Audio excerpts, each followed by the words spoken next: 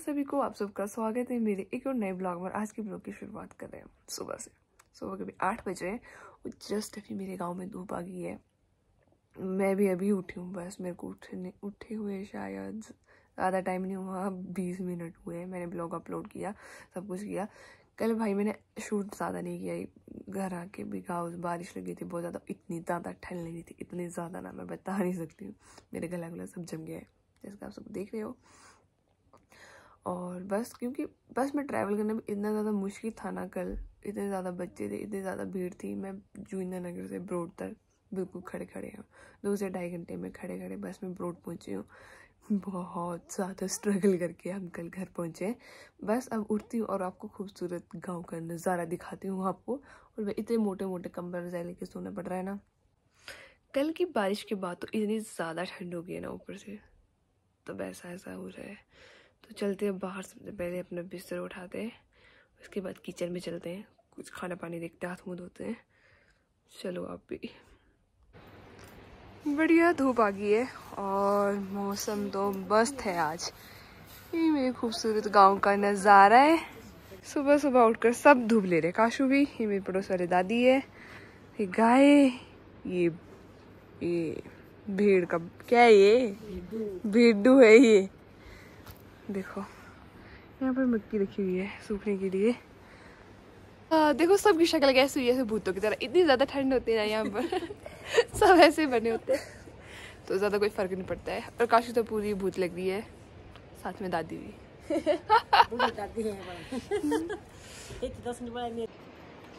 क्या बढ़िया धूप और क्या बढ़िया नज़ारा भाई। मस्त। जंगल। ये मेरे घर का छप्पर है, जिसे हम सर्दियों में धूप सेकने के लिए यूज़ करते हैं ज़्यादातर। क्योंकि मेरे घर के आगे कोई जगह नहीं है स्पेशली धूप लेने के लिए तो आती भी नहीं सुबह सुबह आगे वाली तरफ़। तो पीछे वाली तरफ़ ही आती है। देखो वहाँ गाँव के बच्चे। सही लग रहा है, मैं यहाँ पर झाड़ू लगा रही हूँ। थोड़ा साफ़ कर लेती हूँ, घास रखा होगा था यहाँ पर पहले। पहले यहाँ पर सफ़ाई करूँगी। झाड़ू लगाते हैं। बस नीचे नदी दिखाई देती है भाई, उन नदी। और ये अरबी की खेती की हुई है साथ में नीचे, खेतों में। और ये सेब के पेड़ है साथ में ये सामने वाले पहाड़। बहुत सही है मौसम।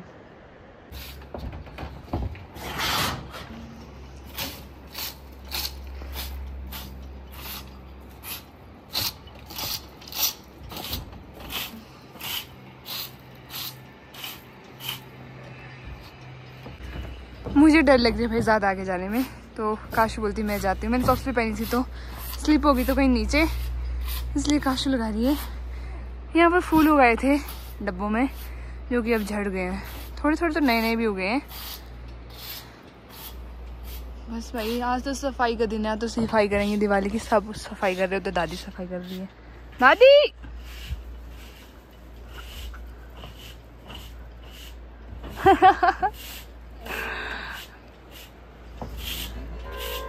बाय बाय हाय हाय हाय यहाँ पर मैं मक्की को डालूँगी सूखने के लिए। ये दूसरी वाली मक्की है, जो खाने वाली मक्की होती है ना, जो इसकी रोटियाँ खाते हैं, वो वाली। ऐसे खा सकते हैं इसकी रोटियाँ, ऐसा कुछ नहीं है। ये पॉपकॉर्न वाली पॉपकॉर्न वाली मक्की है भाई। दूसरी वाली तो सुखा दी है इन्होंने। एक यहाँ पर, एक और लेके आऊँगी मैं। अभी तक निकालने को लगी है बहुत सारी वो। इनके दानों को सुखाएँगे अच्छे से। इस सर्दियों में, ये देखो, इतने, अभी ये थोड़े बड़े हैं। धूप में सूखेंगे चार, पाँच छः दिन, तब ये बहुत छोटे छोटे हो जाएँगे। उसके बाद इन्हें रखेंगे सर्दियों के लिए। तो इस बार बहुत ज़्यादा ही है। बिज़ी हमने कम थी और बहुत ज़्यादा ही होगी है। दूसरा भी लेके आती हूँ भाई। इसमें भी ये वाली मक्की है। और इतना हैवी है ना एक हाथ से नहीं उठा सकते इसे। इसे हम शू बोलते हैं। अपनी लैंग्वेज में। जिसे मतलब ऐसे इसे सुखाने के काम भी आता है इसमें डाल के सुखा भी सकते हैं और इसमें ये धूल होती है ना निकालते हैं अलग करते हैं इसे छांट के। इसके काम आते हैं ये सूप। ये बिल्कुल ट्रेडिशनल तरीके से बना हुआ सूप है। लक, जो होता है ना गाँव में एक लकड़ी होती है पतली सी प्लांट होता है मतलब एक उससे बना होता है ये। और ये दूसरे तरीके से बना हुआ जो कि टीन से। ये भी खरीद के लेके आए हैं। तो कंफर्टेबल दोनों ही कंफर्टेबल होते हैं। पहले पुराने ज़माने में यही होता था, ये नहीं होते थे। आजकल प्लास्टिक के भी चले हैं, वो भी है। पर पहले में तो यही होते हैं और इनमें ये गोबर और मिट्टी की लिपाई की जाती है, ताकि जो इनके अंदर छेद हो ना, इसके अंदर अनाज, जो पतला अनाज हो या कुछ हो, वो अंदर ना चले जाए। इसलिए इनमें गोबर और मिट्टी की लिपाई की जाती है।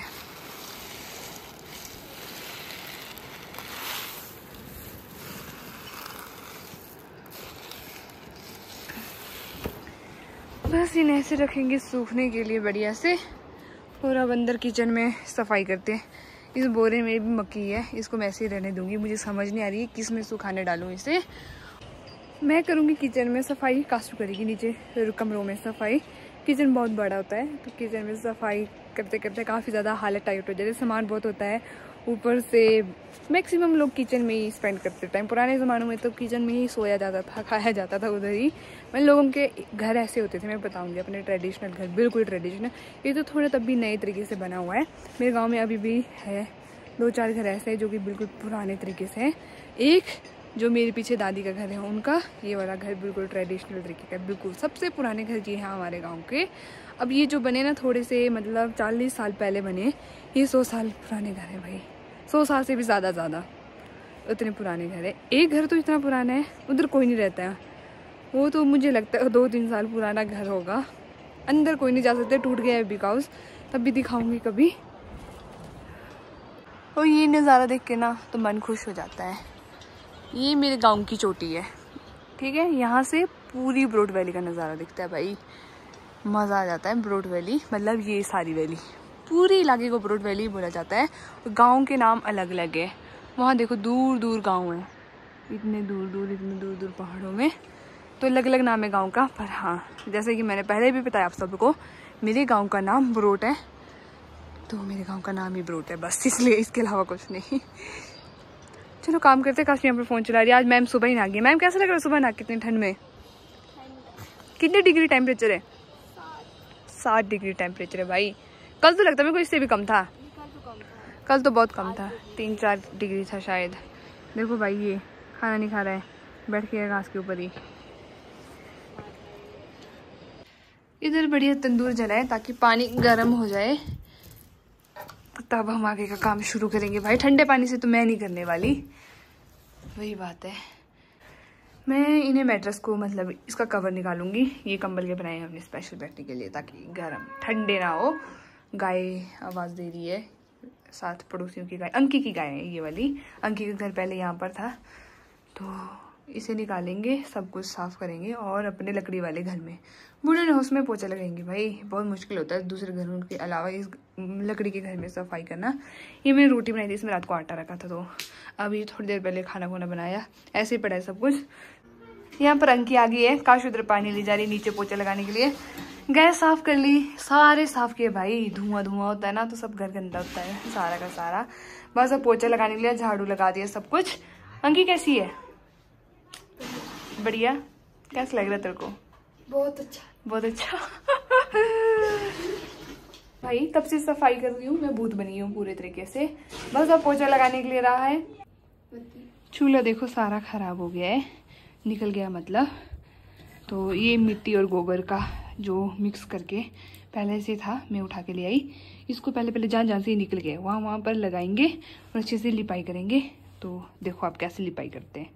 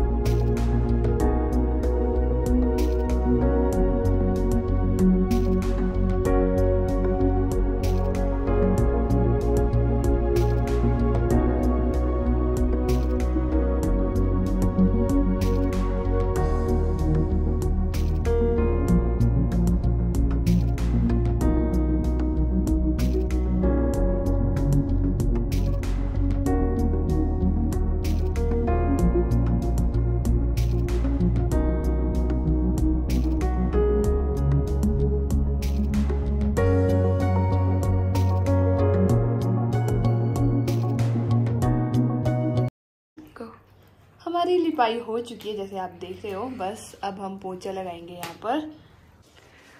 पोचा भी लग गया किचन में, अच्छे से सफ़ाई हो गई है। बस ये सूख जाएगा, उसके बाद खाना बनाएँगे थोड़ी देर में। काशू नीचे बर्तन धो रही है, दादी के साथ में वो भी बर्तन धो रहे हैं नीचे। तो बस अब मैं बाहर मारूँगी, इधर बाहर वाले पोस्टर में पोचा भाई थक गए, बिल्कुल बुरे तरीके से। अभी बस मुँह धोया, नहाऊँगी तो बाद में नहाऊँगी शाम को जाके। नीचे जाएँगे तब नहाएँगे। बस अभी खाना लग गया, खाना खाएँगे। बस रास्ता रहा, साफ़ करने के लिए और सारी सफ़ाई होगी हमारी। सब कुछ डन गए कपड़े धुल गए, सब कुछ धुल गया। बस अब पेट पूजा। मेरा साग और चावल बना हुआ है। अंकी खा रही है, काशू खा रही है, मम्मी तो आई नहीं, पापा खा के बैठ गए पहले ही।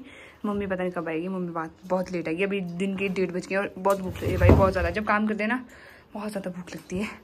तो बस खाना खाते हैं अब। यहाँ पर हीटर जगा हुआ है और साथ में बना है खट्टा। इसकी रेसिपी मैं आपको किसी और टाइम दूँगी, फिर बताऊँगी खट्टा क्या होता है।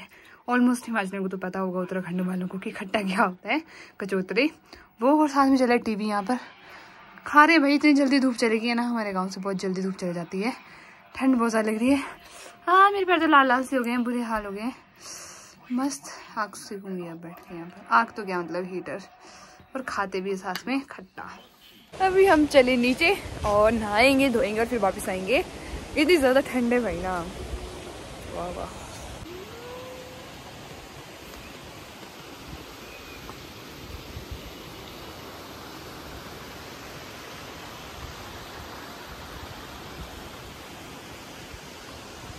पेड़ के सारे पत्ते झड़ गए हैं और इधर गिर गए हैं। सारी जगह पेड़ के पत्ते, पेड़ के पत्ते हो गए थोड़े थोड़े से बचे देखो, बिल्कुल थोड़े। क्या हुआ? और ठंड? ठंड का तो नाम ही ना लो, बस वैसा जैसा हाल हो गया है यहाँ पर। शॉर्टकट रास्ता है, बिल्कुल शॉर्टकट रास्ता। और मेरी माँ अभी तक नहीं आई हाँ? देखो अंकी कहाँ चली गई इनके साथ। छोटे छोटे मेमनों के साथ खेलने। कितना सही लग रहा है ना भाई? क्या मस्त ये जंगल देखो भाई क्या सही जंगल वहाँ से बताती हूँ मैं कितना सही लगता है ये। पिछली बार मेरा फ़ोन ना दूसरा था तो इतना अच्छा लुक नहीं आ रहा था। अपनी मम्मी ही है ये।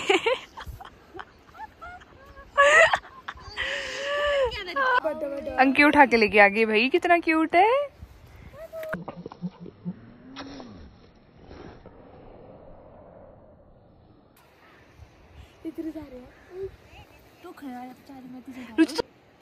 क्यूट है? ना।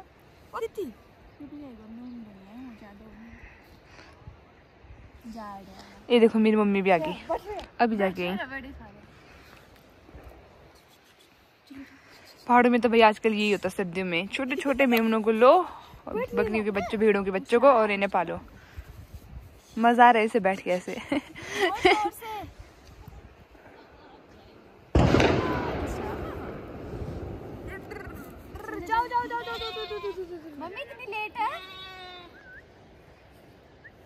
सारे कुत्ते बिल्लों का ठेका इस अंके ने लिया होता है।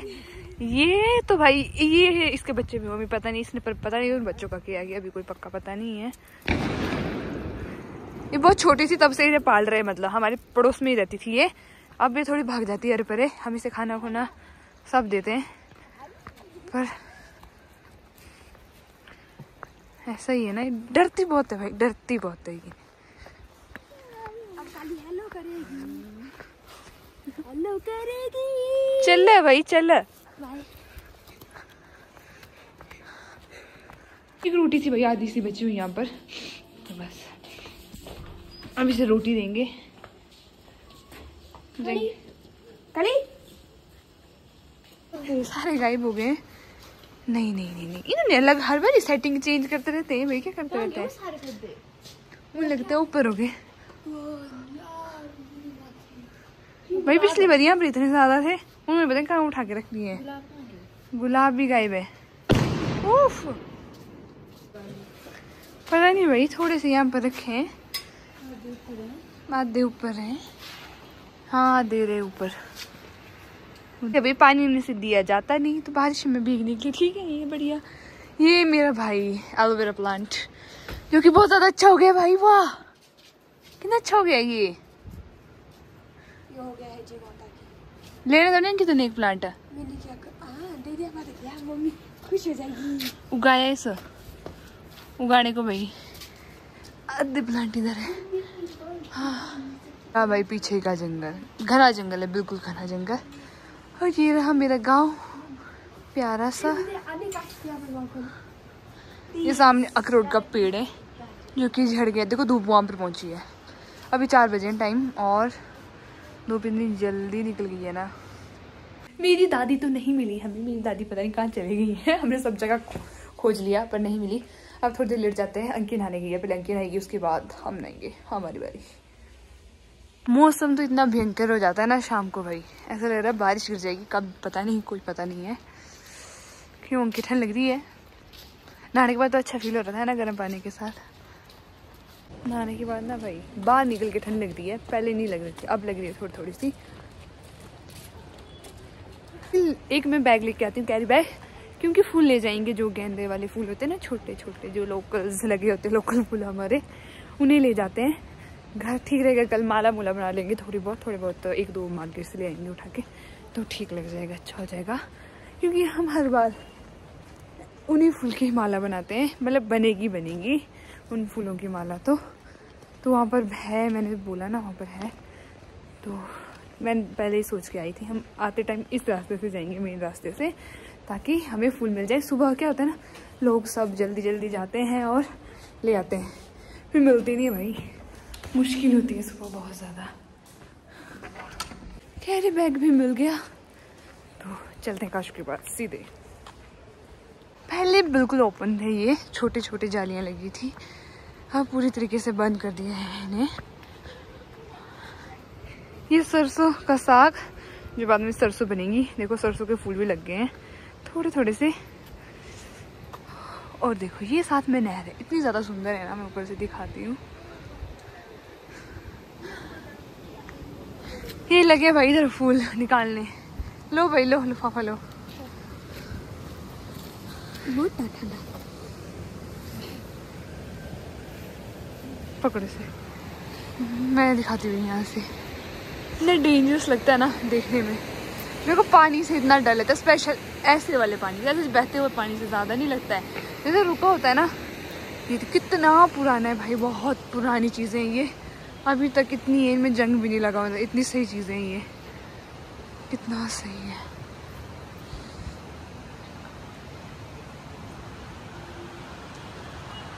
अभी तो रात हो गई ना, थोड़ी ज़्यादा अच्छे से आ भी नहीं रहा है। ओ भाई, इधर नहीं, इधर ये वाले फूल निकालते, काशू। भर भर के। देखती हूँ मैं। ये भी लोहे का पुल है, ये वाला। देखो, बहता हो पानी। कितना सुंदर लग रहा है ना। मतलब मेरे को अभी क्या फील आ रहा है? मेरे को फील आ रहा है कि मेरा फ़ोन ना गिर जाए नीचे भाई और देखो, घर। कितनी सही ये पत्ते लग गए हैं। कितना अच्छा लुक दे रहे हैं, बहुत अच्छा वाला। चलो फूल निकालते पहले जल्दी से।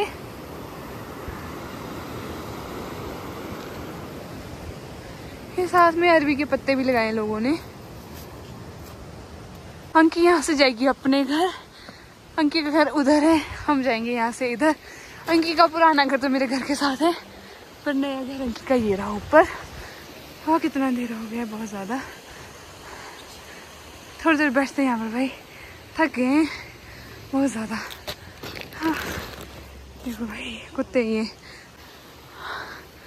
ये लाइटें बहुत ही वाली लाइट तो बहुत पुरानी लगी है ना। सोलर पैनल तो अभी लगे हैं। ये दूसरी वाली लाइट है जो कनेक्शन के साथ दी हुई है, वो वाली। बिजली के साथ ही। सोलर वाली नहीं, बहुत पुरानी है, बहुत ज़्यादा। एक ये है और एक ये रही मतलब गाँव को जाने के लिए पूरी व्यवस्था की हुई है अच्छे से।